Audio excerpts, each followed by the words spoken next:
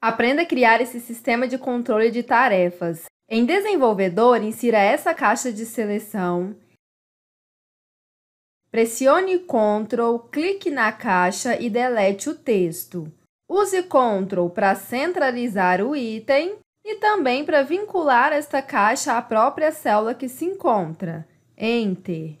Ao marcar a caixa, aparecerá verdadeiro na célula vinculada. Ao desmarcar, falso. Feito isso, vou arrastar para as demais células. E sim, vou precisar vincular cada caixa à sua respectiva célula. Use Ctrl para facilitar a seleção, ok?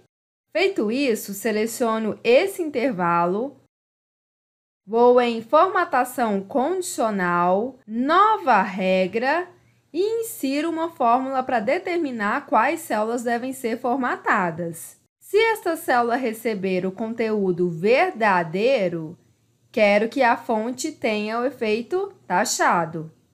Lembrando que devemos destravar as linhas para que se aplique o formato em todas as células. Para ficar melhor, vamos alterar a cor dessas células para branco.